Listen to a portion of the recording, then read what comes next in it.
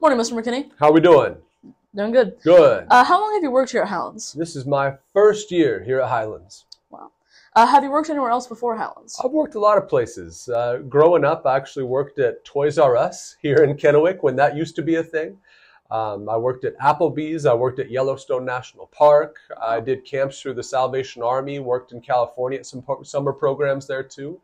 Uh, when I started my career in education, I taught first grade and kindergarten in Idaho Falls, and then I was a high school vice principal in Nevada. I've been a principal at a middle school in Idaho, an elementary school principal, and a high cap director in Washington, and now I'm here. Jeez. So. Uh, what's your favorite thing about working here at Highlands? it's definitely the students. We have awesome students uh, with great personalities who overcome a lot of adversity and obstacles, and so I love working with our student body.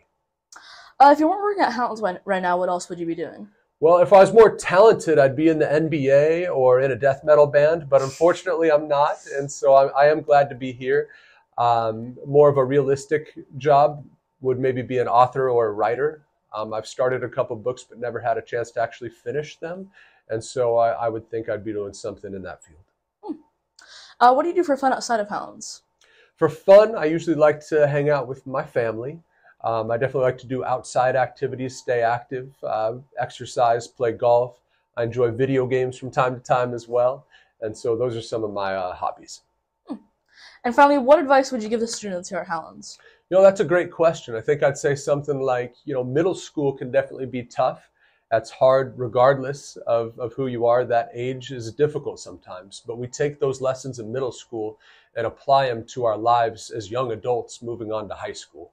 And my advice would be to stay positive, stay happy, and cherish the moments you do have because it'll be gone pretty quick, even if it doesn't feel that way. Yeah. And so uh, stay positive and always try your best.